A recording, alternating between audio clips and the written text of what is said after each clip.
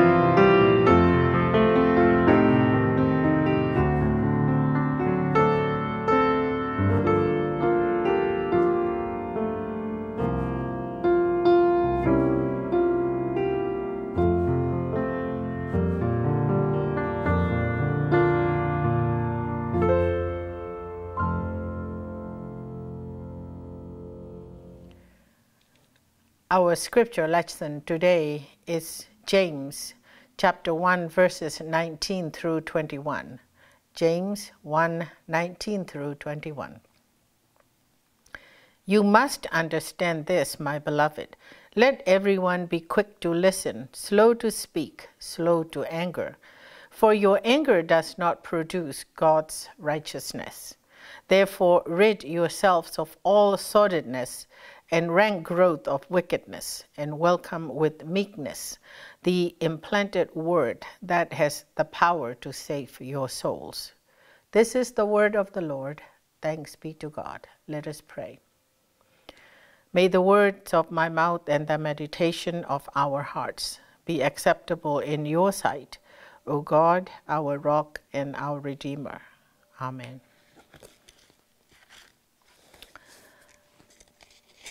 I really like the whole letter of James because it is um, full of the instructions for Christian living.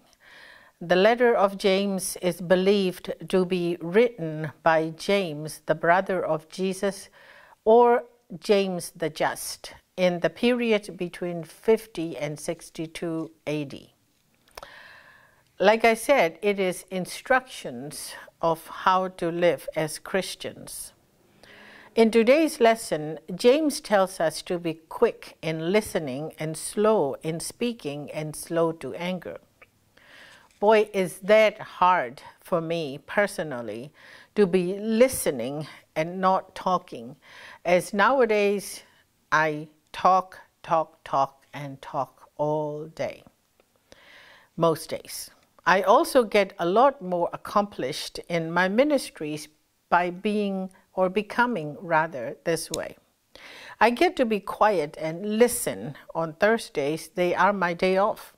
I used to be a listener until I became a pastor.